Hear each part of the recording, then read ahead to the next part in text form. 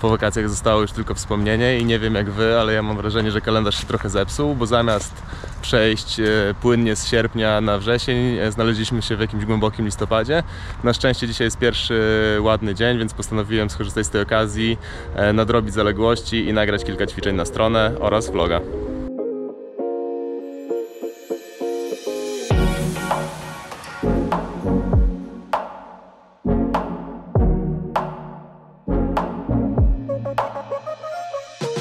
Wakacje miały być dla mnie czasem regularnego pływania i przygotowywania się w taki sposób, żeby na jesieni być gotowym na trudne treningi basenowe.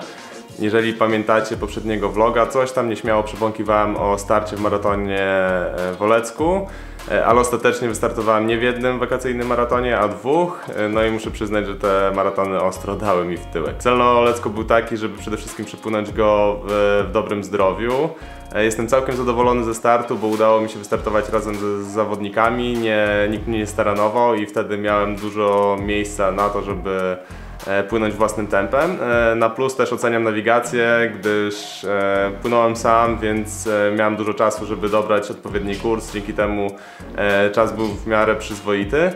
Em, ostatecznie zająłem dziesiąte miejsce, co tak naprawdę rozbudziło mój apetyt na kolejne starty i jeszcze tego samego dnia zapisałem się e, na zawody w Bydgoszczy. E, Woda Bydgoska to w ogóle świetny maraton, e, polecam go wszystkim, gdyż start jest w centrum miasta, płynie się brdą, która jest wyjątkowo czysta jak na rzekę, która płynie w środku miasta.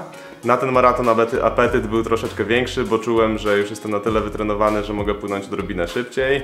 E, nie mogłem bardziej się mylić. E, brda mnie strasznie mocno przećwiczyła, w szczególności kiedy płynąłem e, pod prąd rzeki.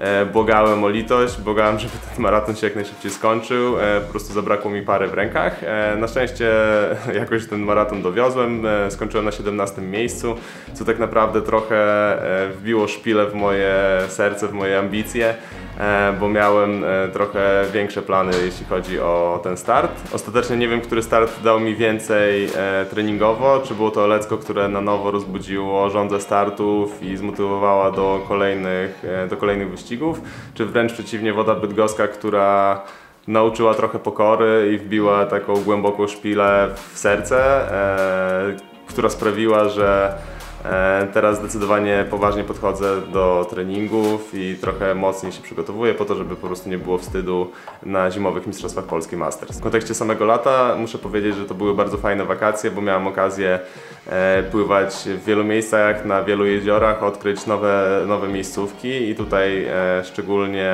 mocno chciałbym pozdrowić Leszka Naziemca, który pokazał mi e, staw Szlomiok e, w samym centrum Katowic. E, Leszek był moim przewodnikiem na tamtym akwenie i od tego czasu pomyślałem sobie, że wyjeżdżając w inne miejsca fajnie byłoby poszukać takich przewodników, którzy pokazaliby w których miejscach można pływać, w których nie można pływać, jakie panują tam zasady, e, ale też które miejsca są wyjątkowo fajne i zjawiskowe i, i warto, e, warto na nich się pojawić. A jeżeli chcielibyście zobaczyć jak trenuję w trochę większej ilości szczegółów, zapraszam do zapoznania się z moim programem treningowym. Link zamieszczę gdzieś poniżej e, wideo.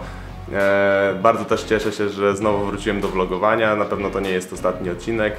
E, zobaczymy się wkrótce. Do zobaczenia.